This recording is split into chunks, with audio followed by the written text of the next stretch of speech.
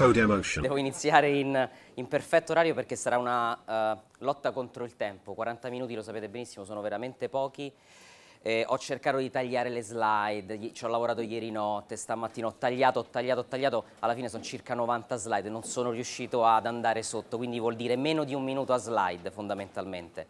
Le cose da dire sono davvero davvero tante, perché eh, questa, cioè quella della, del, dello sviluppo delle applicazioni per dispositivi mobili utilizzando i web standard è, è, una materia interdisciplinare nel senso che tocca veramente tanti ambiti. Io vorrei concentrarmi oggi nella presentazione che, che, adesso farò soprattutto su, eh, sul trasferirvi due concetti. Uno è una metodologia di lavoro che eh, noi abbiamo, stiamo cominciando ad usare, stiamo cominciando nel senso che è frutto di un'esperienza che abbiamo fatto di circa due anni in 4-5 progetti, ehm, 4-5 progetti re, cosiddetti responsive, quindi applicazioni HTML5 ottimizzate per dispositivi mobili, ma non solo dispositivi mobili, anche large screen, quindi eh, smart TV, tanto per intenderci. Quindi la prima è di metodologia, perché abbiamo visto che ehm, bisogna veramente essere molto Uh, precisi e, e, bisogna seguire un workflow molto strutturato, altrimenti si rischia di dover buttare gran parte di quello che, che, si è fatto e ricominciare addirittura da capo. Questo è il primo concetto. Il secondo è, riguarda tecniche e non trucchi, tecniche e, e eh, diciamo, uh, consigli sul come migliorare le performance dell'applicazione perché questo è un altro argomento delicatissimo per quanto riguarda lo sviluppo sulle, de, su, su mobile eh, perché è veramente diverso rispetto allo sviluppo su, su, web. Quindi vorrei che vi portaste a casa questi due eh, concetti e cercherò di trasferirveli nel, nel più breve eh, tempo possibile. Io sono Marco Casario, sono il CTO di Comtaste e mm, mi occupo, ehm, mi occupo appunto di, di eh, portare avanti dei progetti con il nostro team eh, interno, lavoriamo soprattutto su clienti come vedete da, dalla slide enterprise, quindi veniamo dal mondo enterprise, eh, banking, finance. E in questi mondi vi assicuro che il, il, le performance e i load time sono eh, sono, davvero, uh, sono, davvero, importanti come, come, tematiche. Questi sono gli ultimi due libri che ho scritto su, sulle tecnologie che, che, mh, oggi, di cui oggi parleremo, HTML5 Solutions e CSS3 Solutions. Mi hanno dato quelli della, dell'Apress, una copia qui che poi a fine, ehm, a fine talk vedremo un attimo di trovare un modo da, per, per, per regalare. E ho, tengo due corsi per, uh, in collaborazione con Comtest e il Codemotion, tengo due corsi eh, che trovate pubblicati sul sito training.codemotion.it e su, sul sito di Comtest. Uno si chiama Rich Web Application con HTML5 e un altro è dedicato al Responsive Web Design con HTML5 CSS3 e JavaScript. Ora, eh, sono già un paio d'anni, credo, che parlo di tematiche che riguardano il, il, il, il mobile. E mh, questa slide l'ho cambiata perché c'era scritto l'anno scorso, forse due anni fa, il web sta cambiando, il web è in realtà cambiato. E eh, questa slide è, del 2010 addirittura, era un, la slide che ha pubblicato Business Week in cui da una ricerca di, Mor di Morgan Stanley si vedeva come nel a fine 2011 la vendita, la vendita di dispositivi mobili, tablet e smartphone ha superato la vendita degli desktop. C'è stato anche un altro sorpasso, quello uh, dei, degli utenti che, uh, che, navigano il web. Uh, oggi gli utenti che navigano il web utilizzano più i dispositivi mobili rispetto al, al, al classico desktop. E il web possiamo quindi dire che a tutti gli effetti è uscito dal, dal desktop. E, ehm, è, quindi fondamentalmente una sentenza di morte per quanto mi riguarda pensare di creare un contenuto che dovrà uh, andare sul web e che poi, senza pensare che poi dovrà essere fruito anche su risoluzioni o su schermi molto più piccoli rispetto al classico 1280 o 1024 o viceversa su schermi invece molto grandi, le smart TV adesso sono già in vendita, sono una realtà, LG, Samsung, Sony eh, hanno già fatto entrare dentro le case di tantissime persone questi, questi device, avrete forse visto il, il, um, il talk di, di, di, Stefano Sanna su, sulla Google TV, insomma cominciano ad esserci tantissimi device.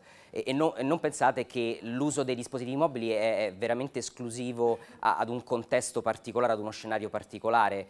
Vi faccio un, un esempio, io uso più, il, navigo più sul web quando sto a casa usando i smartphone, i tablet, eh, rispetto a quando sono, sono, in giro, perché magari sono sul divano, perché magari eh, sono, da, sono, in cucina, sono da un'altra parte, non mi va di andare a prendere il desktop e apro quel contenuto sul primo device che mi, che mi capita. In tasca o sul tavolo ho un tablet o uno smartphone. Quindi non pensate al mobile esclusivamente come accesso eh, in, in scenari di mobilità, eh, sul web trovate eh, una, mm, c'è una pubblicazione eh, molto interessante statistica su come gli utenti utilizzano l'accesso ai contenuti su dispositivi mobili.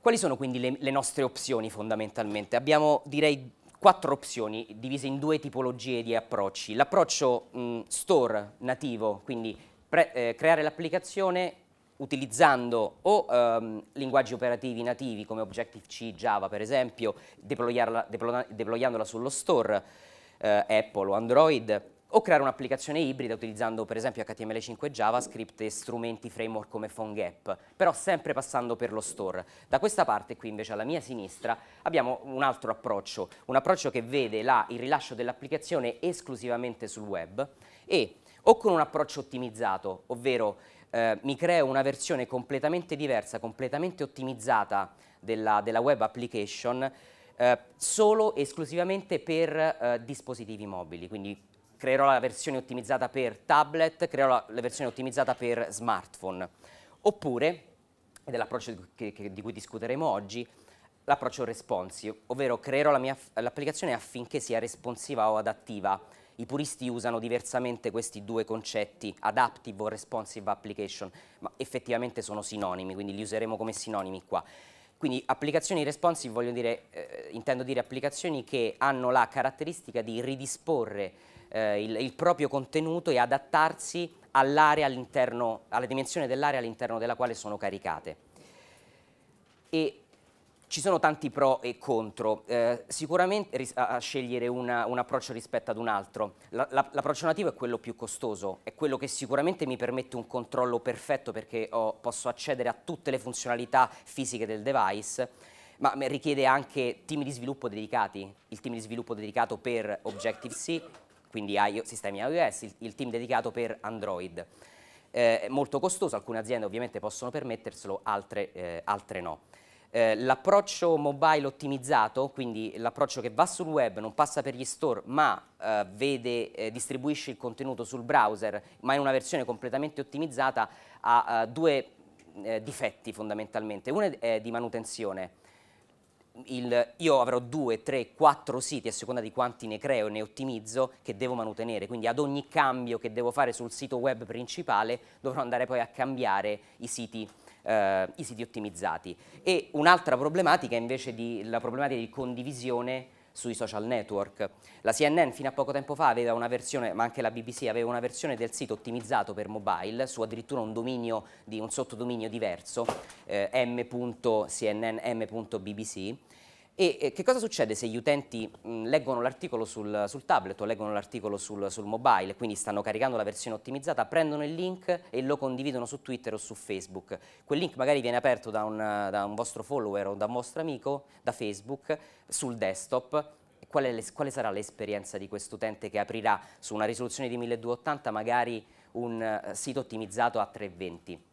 Questa è un'altra problematica da tenere in considerazione.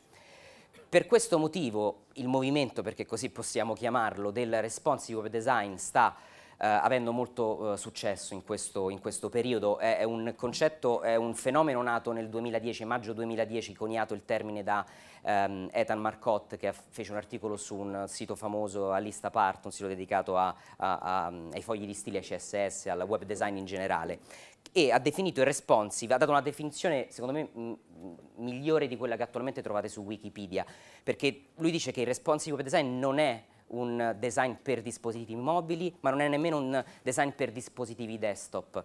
È semplicemente un, un approccio che permette eh, di avere un, un contenuto flessibile, adattivo, indipendente dal device. Quindi questa è una definizione molto importante, tra parentesi mutuata dall'architettura esiste il concetto di responsive architecture. C'è un video stupendo su Vimeo, se cercate responsive architecture e Festo in particolare, comunque il link qui lo trovate poi sulle slide che vi distribuiranno, ehm, è bellissimo perché avete queste, queste, strutture rigide, sono dei muri che hanno la capacità di adattarsi in base al contenuto, ovvero alla quantità di persone che stanno fisicamente dentro, dentro la stanza, quindi riescono ad ingrandire, diciamo almeno come effetto ottico, ma si deformano proprio, c'è un video che lo, che lo, fa vedere mano a mano che la stanza cresce in eh, numero di persone che, che contiene. Quindi è, è, da qui che viene mutuato questo, questo approccio. Sul web che cosa succede? Succede questo, che partendo da, dalla mia destra abbiamo il nostro sito web, la nostra web application che dalla, da un monitor 27 pollici eh, viene visualizzato stesso, a parità di contenuto, viene visualizzato su un tablet, landscape, orientation landscape, orientation portrait, quindi sempre un, un, un, eh, un tablet, smartphone con, due, eh, con i due orientamenti. Si tratta dello stesso contenuto, quello che cambia è solo il, eh, la modalità con cui questo contenuto viene visualizzato all'interno della, della, pagina. E perché questo approccio sta uh, avendo uh, un discreto successo? Perché è veramente difficile, come diceva il maestro Yoda, um, prevedere il futuro. Il futuro nel nostro ambiente è sempre in movimento ed è verissimo per i device mobili, abbiamo tantissima frammentazione e se pensate che il, eh, il primo tablet della, della, Apple è uscito nel 2010, quindi stiamo parlando di tre anni fa, guardate già quanto è frammentato il mercato dei, dei dispositivi che continuano a uscire con una velocità ormai eh, devastante, quindi è impensabile di poter stare dietro a questa, eh, a questa velocità in termini di sviluppo, quindi aggiornamenti, modifiche, nuovi rilasci e, e, così via eh, non possiamo pensare, come dice la slide, di creare una versione ottimizzata per ogni dispositivo che uscirà sul mercato. Cominciamo a parlare un po' di tecnologie che fanno parte, degli ingredienti che fanno, che fanno parte del, di questo approccio allo sviluppo. HTML5. Anche qui mh, andrò veloce perché ehm, è veramente tanto che parliamo di HTML5. Eh, ormai è tra noi, è inutile dire sì, ma manca ancora tanto, le specifiche non sono chiuse. Innanzitutto le specifiche, non saprete, non, non sono più state dichiarate chiuse, non saranno più chiuse nel 2022. Il V3C inizialmente aveva eh, detto che la, la, la, roadmap prevedeva la chiusura nel 2022. Le, slide, le, mm, le, le specs saranno invece chiuse a, si dice, settembre del 2014 di HTML 5.0 e a, nel 2016 di HTML 5.1. Eh, questo permette già oggi di utilizzare HTML5, però in modo intelligente. Queste sono le macro aree sul, su, uh, sulle quali hanno lavorato uh, il V3C, ma non solo perché non è l'unico organo, il V3C, che lavora alle, alla documentazione di HTML5, eh, introducendo le nuove API, quindi dalla semantica CSS3 al multimedia, il device access, performance, offline storage, connectivity, grafiche 3D. Ogni area, ogni macro area ha poi delle eh, sottoaree. Queste per esempio sono le top 5 features in termini di ehm, di, di, feature per dispositivi mobili che oggi abbiamo già a disposizione, geolocation, offline application, CSS3, media queries, eh, video e audio, Canvas e WebGL. Queste oggi sono già supportate dalla stragrande maggioranza dei, dei dispositivi mobili sul, sul mercato, nemmeno di ultima generazione. La cosa importante da capire è questa, HTML5 è vero è tra, è tra, noi, nel senso che ormai è supportato dai browser moderni, però ci sono tante piccole cose che ancora non sono su supportate, è una realtà questa. Quindi bisogna pensare ad HTML5 con un approccio incrementale. Non potete pensarlo nella sua interezza, prendere qualsiasi API disponibile e cominciare a scrivere la vostra web application utilizzando quelle, quelle funzionalità. In questo modo vi troverete sicuramente male.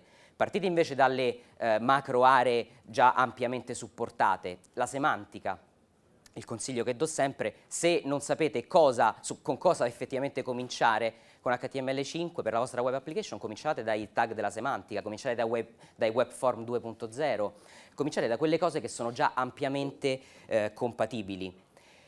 Quali sono le strategie quindi per ehm, sposare questo nuovo approccio allo sviluppo, allo sviluppo di web application? Eh, innanzitutto bisogna aver chiaro in mente un paio di, di domande e, e, quindi capire quali sono le risposte di queste domande in base ai contesti. Gli utenti web che navigano dai dispositivi mobili hanno effettivamente bisogno dello stesso contenuto di, eh, uten degli utenti che navigano eh, il web dal desktop. Questa è una domanda molto importante che eh, si porta dietro tantissime scelte dal punto di vista sia della user experience ma soprattutto eh, dal punto di vista delle informazioni che volete veicolare. Faccio un classico esempio, guardate questa pagina di Repubblica, è un articolo, io probabilmente ho cliccato su questo articolo, sto sul desktop qua, questa è l'unica area che a me interessa veramente, il contorno, a parte il menu di navigazione, è tutta pubblicità. Bene, ritengo piuttosto impensabile poter proporre, declinare, eh, offrire all'utente questa stessa user experience su un dispositivo mobile dove magari devo stare attento a, ai K, al page size, a quanto è grande la pagina, ai tempi di caricamento.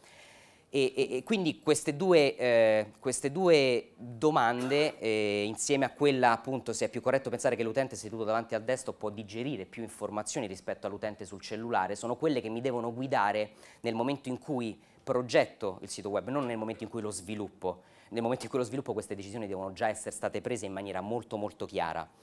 Bisogna conoscere quelli che sono gli obiettivi degli utenti fi finali, quindi domandarsi come l'utente navigherà quel contenuto, in, in che modalità, ovviamente in termini, sicuramente in termini statistici. Questo è il workflow che noi abbiamo piano piano eh, ottimizzato e stiamo utilizzando in, in Comtaste. È, appunto è un cross-screen web app workflow, nel senso che è un workflow che abbiamo visto funziona per questo tipo di, di applicazioni, che eh, abbandona il vecchio concetto, quello in cui il web designer prendeva, creava un visual, eh, una grafica, un layout web in Photoshop, lo passava agli sviluppatori che cominciavano a ritagliarsi tutto, a montare l'HTML e poi piano piano a metterci la logica sopra. Questo approccio non funziona nel mondo del responsive web design. Quindi quali sono invece gli step che abbiamo visto funzionano e lo, abbiamo visto sulla nostra pelle, nel senso che per arrivare a questo workflow abbiamo dovuto veramente fare, fare tanti cambiamenti in corso d'opera. Prima, prima, di tutto capire le, le domande cui, eh, ci facevamo prima, capire che cosa è importante per gli utenti, crearsi immediatamente un'application map per aver chiaro la navigazione che l'utente dovrà compiere all'interno dell'applicazione, creare dei mock-up a bassa fedeltà.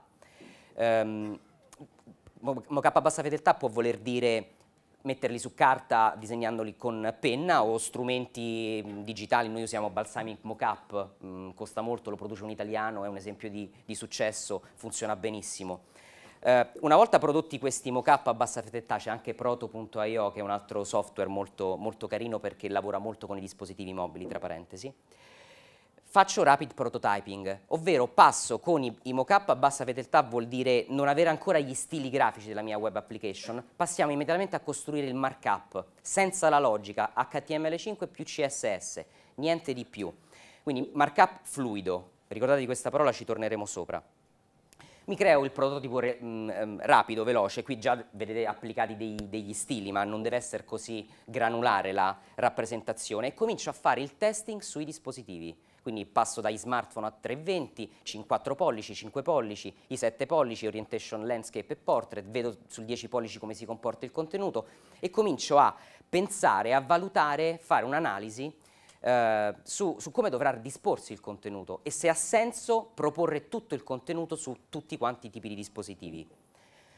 Faccio un ciclo di revisione, quindi a fronte di questa riunione avrò buttato giù un'analisi ciclo di eh, revisione e creazione dei visual, quindi questi feedback vengono passati al, di nuovo all'user interface expert, al designer, al web designer, chiamatelo come volete, il quale comincia a creare i visual ad alta fedeltà, vuol dire la grafica fondamentalmente, si apre Photoshop, ha i mock-up a bassa fedeltà, quindi già sa gli elementi di interfaccia che dovrà creare, dovrà solo aggiungerci gli stili e conosce anche le varie declinazioni sui vari, sui vari dispositivi, perché già gliele abbiamo trasferite quelle informazioni mi passa i visual finiti, creo il markup ancora, ricreo il markup questa volta con gli stili grafici applicati eh, senza logica, HTML5 e eh, CSS3 e queste sono alcune tipologie di layout con approccio responsive.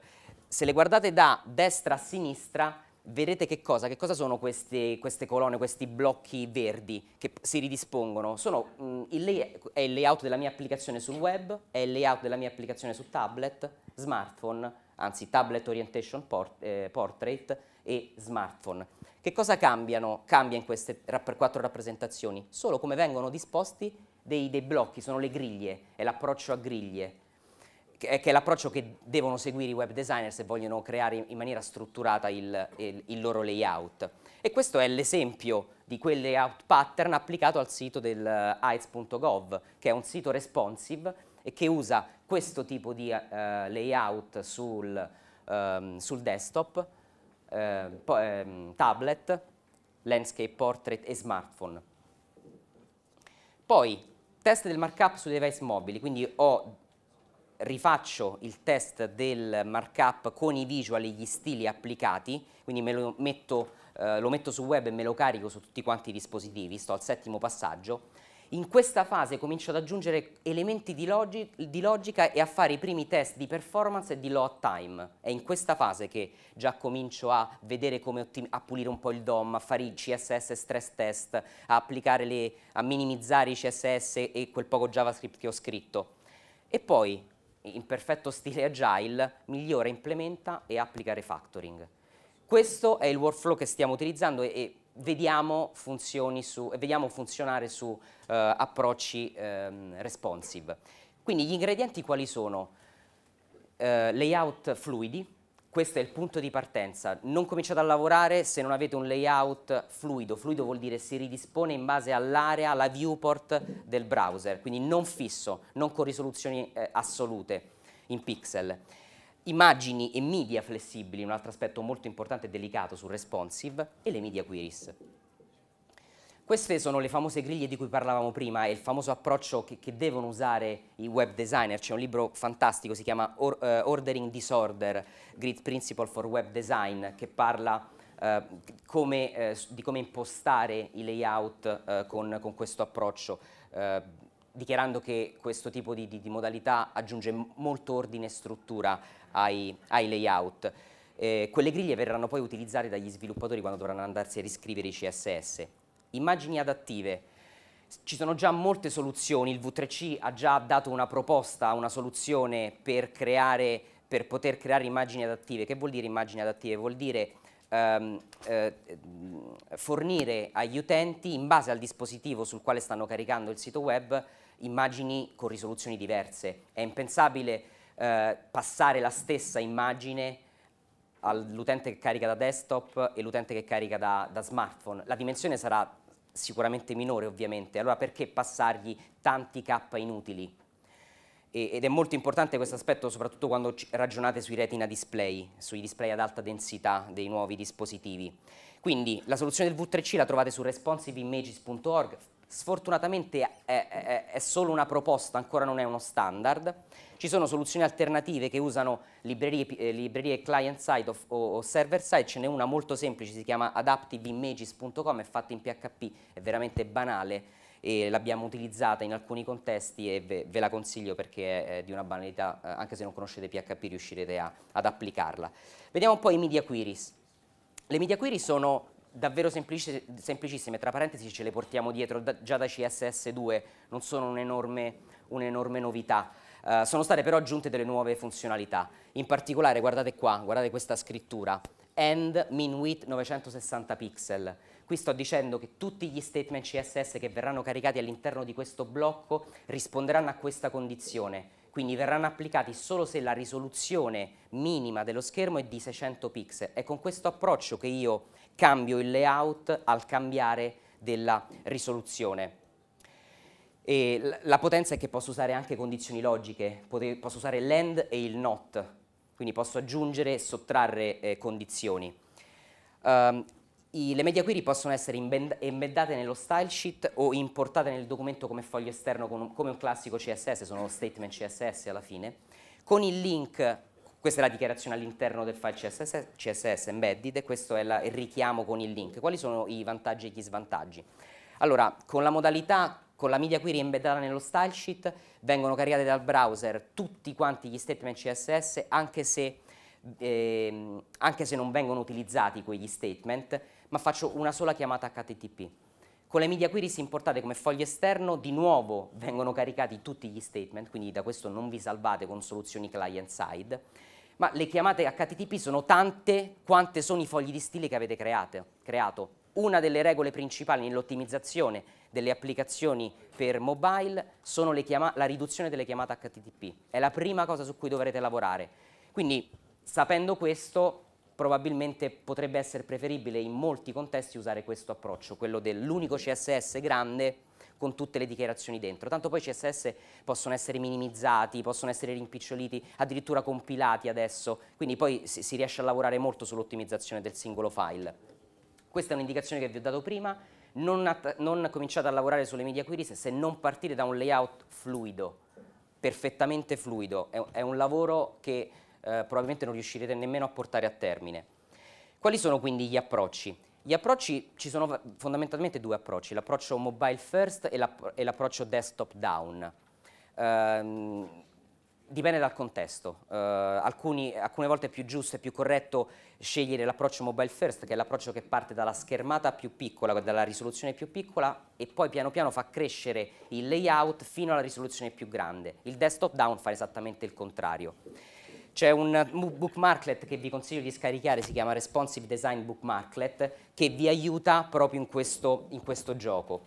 Il, il, mio consiglio è lasciatevi guidare dal contenuto, ovvero, guardate, vi faccio vedere eh, un'applicazione, un una pagina web che poi è stata la, la, la, demo che abbiamo realizzato durante il workshop che abbiamo avuto l'altro ieri. Qui ho, vedete, rimpicciolito al minimo la, la, finestra del browser, qui sto circa a 400 pixel. Eh, e vedete come si dispone il mio layout, no? È ampiamente leggibile, immaginate, immaginate questo um, come una, un iPhone, un, un Android, uno smartphone Android. Quindi ho il menu facilmente cliccabile, in verticale, ho l'H1, forse lo potrei anche rimpicciolire un po', è un po' troppo grande questo, questo H1, comunque ho il titolo, poi ho, ho il titolo di una ricetta, ho gli ingredienti, ho la foto, eccetera, eccetera, vado giù, ho un sottomenu, commenti, primi piatti, eccetera che cosa succede se comincio a, ad allargare? Qui le media query sono già scritte, quindi il comportamento vedrete che cambierà, no? Allora, sotto innanzitutto si sono ridisposti, non sono più verticali, ma la parte sotto adesso è, è orizzontale. Purtroppo la risoluzione qui stiamo a 800 x 600, vediamo se posso fare così per farvi vedere, sì lo posso fare. Ho ingrandito ancora un po', che cosa è successo? Questa parte qua, che prima era una sotto l'altra, adesso si è affiancata. Ho, ho, questi blocchi, primo blocco, secondo blocco, terzo blocco e quarto blocco. Se continuo ad, ad allargare, mentre allargo che cosa scattano? Le media query. Se continuo ad allargare, che cosa è successo? È scomparso qualcosa, vi, vi faccio vedere infatti che tutto quello che stava sotto qui sto circa risoluzione 1000 pixel, tutto quello che stava sotto è andato sulla sidebar, perché adesso ho più spazio per visualizzare quel contenuto, non deve essere verticale. Qui ho, il menu è cambiato, avete visto lo stile del menu è cambiato, non è più verticale, cioè abbiamo un, un, un menu orizzontale.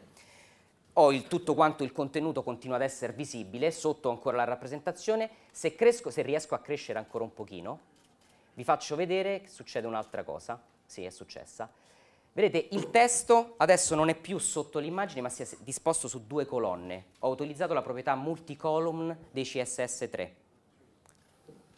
Tutto questo lo abbiamo realizzato con, CS, con uh, le media queries. Io vi apro il, il CSS. Queste sono le, le media query che di, dichiarano gli statement CSS al variare della proprietà min width o max width del mio schermo e CSS non c'è niente di fantascientifico, lo avete sempre scritto. Questa volta quello che vi permettono di fare i media queries è dichiarare a questa risoluzione fai questo, a quest'altra comportati in questo modo.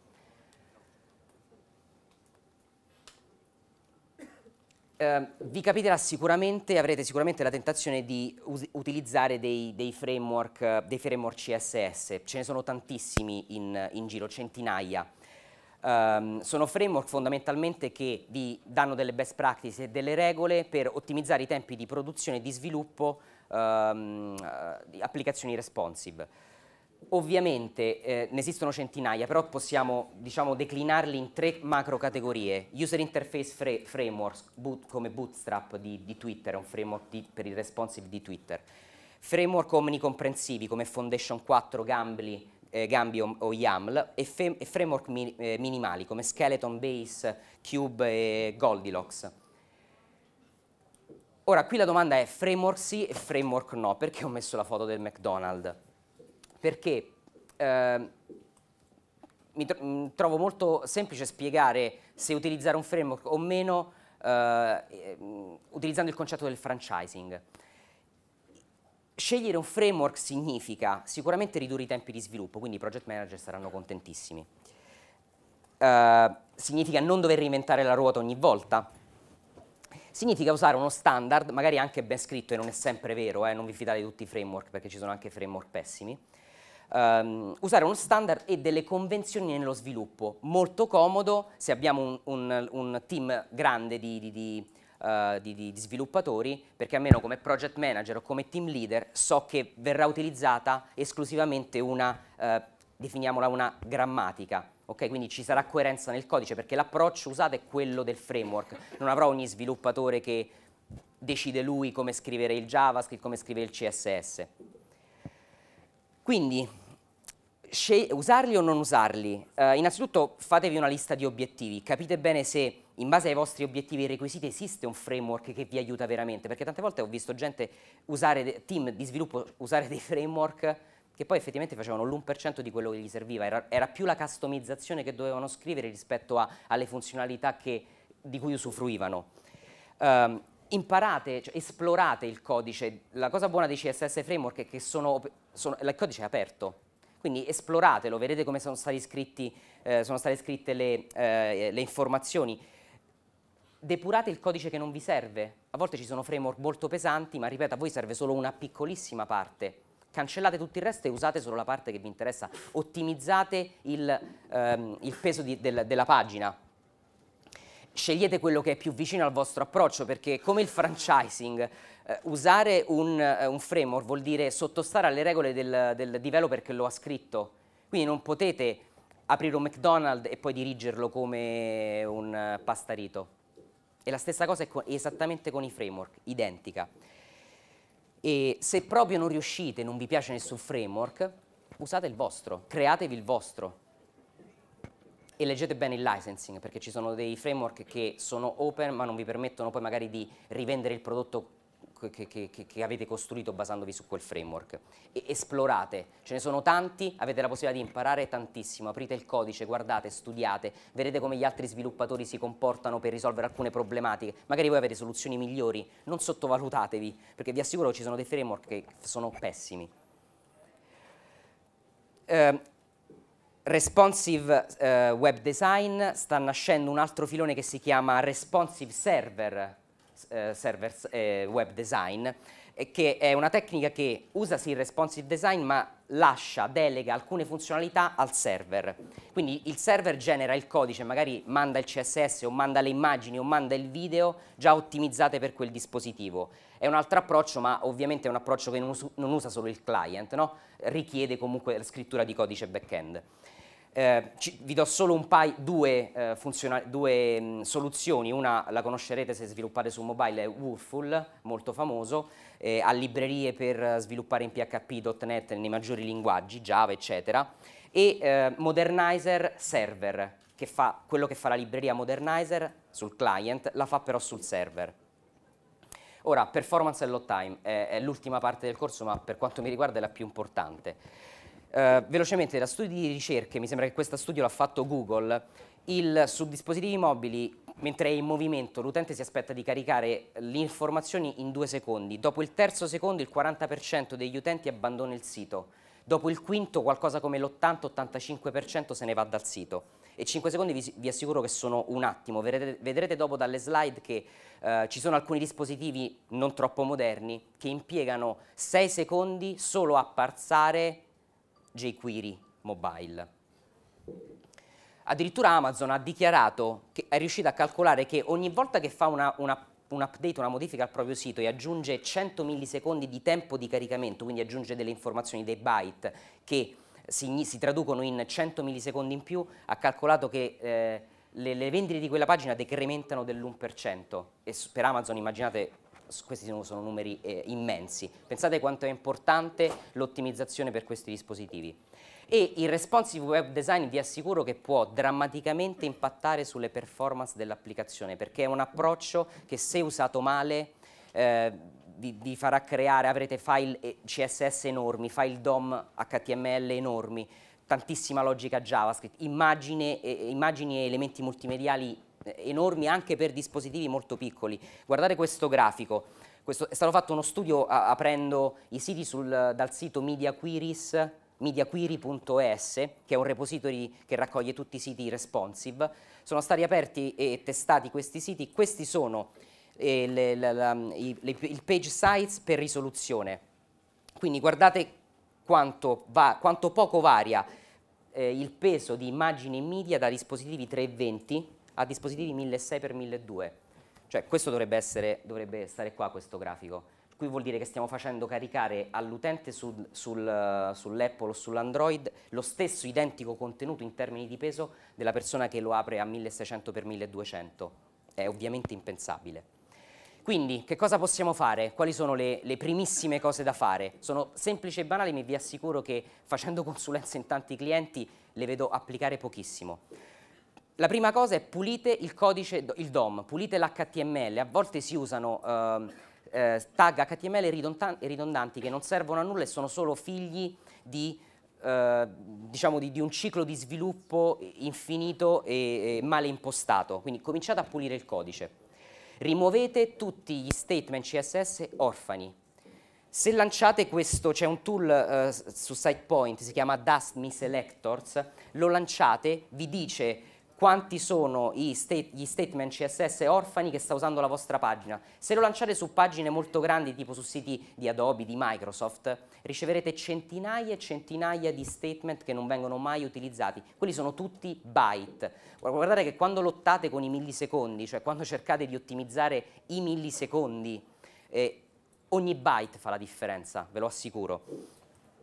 Quindi misurate le performance dei CSS3, c'è uno stressing tool, si chiama CSS Stress Testing and Performance Profiling, ci sono delle, ehm, degli statement nu nuovi in CSS come il box shadows, il box reflection, eh, il, um, insomma ce, eh, ce, ne sono altri per le animazioni, le transizioni, eh, sono molto intensivi dal punto di vista delle CPU, quindi vuol dire caricamenti lenti e soprattutto consumo della batteria altissimo.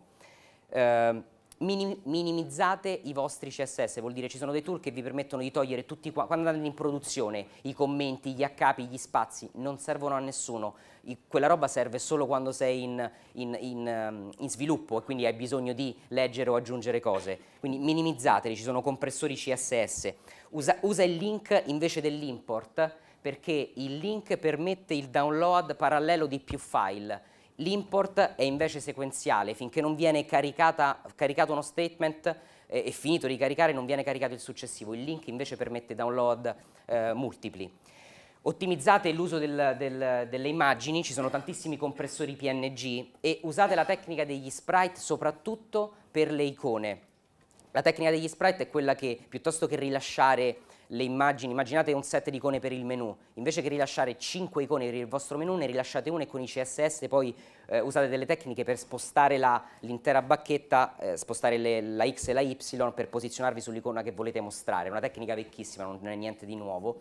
Eh, qual è il vantaggio? Le chiamate HTTP, fate solo una chiamata, non, non, fate quattro chiamate HTTP. Qual è il problema di queste chiamate HTTP? Perché lo, lo tiro sempre fuori? Perché il protocollo HTTP ha un limite enorme ad ogni eh, request e response viaggiano tantissimi byte che non servono a nulla all'applicazione, se li porta dietro lo user agent, quindi dobbiamo limitare le chiamate. Usate la tecnica del data URI, eh, non so se lo sapete, ma voi potete per le immagini dichiarare non l'immagine, ma direttamente la sua rappresentazione in base 64, soprattutto per le immagini piccole come icone o voci di menu, cose del genere, Usate dei software per fare la conversione, in questo modo vi evitate la chiamata HTTP. L'immagine viene immediatamente ehm, caricata senza fare la chiamata HTTP. Cercate di usare font icon, ovviamente per icone molto semplici. C'è un progetto che è molto carino, si chiama eh, iconmoon.io, e a volte con, icone, con, con, i font riuscite ad ottenere icone anche molto molto carine, quindi sono sempre K che si risparmiano comprimete le immagini, ci sono compressori, poi le slide tanto le avete a disposizione, quindi i link ve li potete andare a vedere, non vi preoccupate. JavaScript, ottimizzate la logica delle applicazioni, evitate l'uso del level, che è terribile, devastante. Cercate di evitare l'uso del WIT perché è molto intensivo come processi e se sapete che l'errore si verifica sicuramente, non usate il try catch, perché se si verifica, eh, gestitelo, no? Il try catch è molto richiestivo, quindi evitatelo, soprattutto se sapete che l'errore si verifica. Se potete, se avete la possibilità, pubblicate i file JavaScript, quindi i media esterni, JavaScript e CSS, su un uh, dominio, su un subdomain del vostro sito, quindi su, che ne so, resources.miosito.it. In questo modo permet permettete il caricamento parallelo delle risorse, ok? Questa è un'altra cosa molto semplice ma che eh, riduce drasticamente il load time. Minimizzate il JavaScript e, e offuscatelo, riuscirete a risparmiare tantissimi K applicando queste semplici semplicissime regole, guardate rispetto a, a, agli originali, quindi CSS 11K, l'improvement con, con questi pochi accorgimenti del 39%. Guardate qua le richieste, quindi le chiamate HTTP. Originariamente erano 22, siamo passati a 9 con una riduzione di quasi il 60%. Parliamo alla fine del progetto di svariati secondi, non di un secondo. Uh, usate la, uh, le network uh, eh, API di HTML5 per andare a capire che tipo di connessione ha l'utente, far comportare l'applicazione diversamente in base al tipo di connessione. Fate tantissimi test, usate charts che vi permette di fare il throttling HTTP, vi permette di simulare lato client connessioni più lente rispetto a quella che state utilizzando.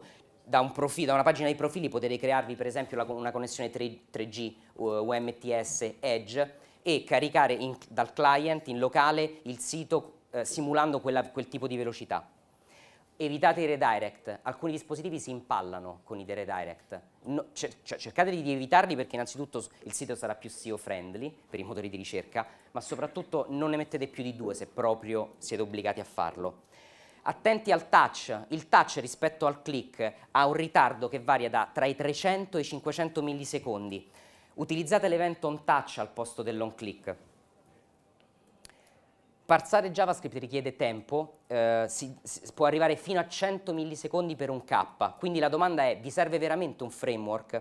jQuery, come vi dicevo prima, impiega quasi 6 secondi su vecchi dispositivi ad essere caricato jQuery Mobile non è un framework ottimizzato per mobile, questo io lo dico da eh, circa un anno che lo, lo, vado a evangelizzare, non è una versione ottimizzata, è jQuery che usa le core, jQuery UI è un framework di user interface, quindi vi dà l'interfaccia grafica pronta per i dispositivi mobili, ma è pesante quanto jQuery, che non è uno tra i framework più leggeri. Valutate invece microarchitetture JS, Zepto.js che noi usiamo e con la quale ci troviamo bene, ci troviamo molto bene, usa lo stesso approccio di jQuery in 6K e non nei 70-60K di jQuery minimizzato. Se usate JSON, usate, ricordatevi il metodo JSON parse che è due volte più veloce del, della funzione eval di JavaScript che comunque dovreste evitare. Usate l'application la, cache in HTML5, è un file che passate attraverso il manifest con il quale potete salvare in locale le risorse della vostra applicazione anche su smartphone e, e, tablet. Stesso discorso per i local storage. E queste sono il, le max persistent sites che avete sui vari dispositivi. Quindi 200 MB per iOS 5.1, 4 MB, 4 MB, 20, 85. Ovviamente all'utente all verrà chiesta la, la, la, di, di, accettare la possibilità di scaricare in locale le risorse che voi state cercando di fare. Eh. Però insomma, come vedete, diciamo che per il mobile si, si considerano 2 mega, però avete a disposizione molte più informazioni. Performance test, usate eh, Yahoo Slow, web, web page test, e usate la compressione JZip lato server, basta, è un modulo Apache, non, non, non, non c'è niente di difficile ad attivarlo, vi riduce di parecchi punti percentuali il peso delle, delle pagine. È una stupidaggine, vista, cioè è una stupidaggine applicarla e l'ho vista applicata pochissime volte. Um, usate eh, il, i, le, le, gli speed tool di, di Google, sempre per fare performance, sono moduli back-end, e lo user interface compressor di Yahoo con questo compressore, guardate, jQuery versione 1.6 da 98k è passato a 55k, semplicemente lanciando il tool, con un risparmio del 44%. E qui c'è solo una lista di eh, microarchitetture e microframework eh, JavaScript. Vi consiglio questo sito, micro.js, che altro non è che un repository di microlibrerie JavaScript. Gli scrivete la funzionalità che state cercando una, per una determinata libreria e lui vi dice la, la libreria corrispondente in JavaScript. È l'ultima slide, emulatori. Ne esistono tantissimi, alcuni sono gratis e altri sono... Eh, a pagamento, da questo link avete, sono ne sono elencati tantissimi. Ah, fate attenzione ad una cosa, l'emulatore è solo il primo test che potete fare, non potete andare in produzione dopo l'emulatore dovete provare dentro ai browser dei dispositivi mobili perché succedono delle cose incredibili quando caricate l'applicazione dentro Chrome, dentro Safari, e, e, nei vari dispositivi, tablet e smartphone. Quindi purtroppo la spada di Damocle per quanto riguarda il responsive web design è proprio questo, testing, testing, testing, un sacco di refactoring e riscrittura. Ce l'abbiamo fatta. Grazie a tutti.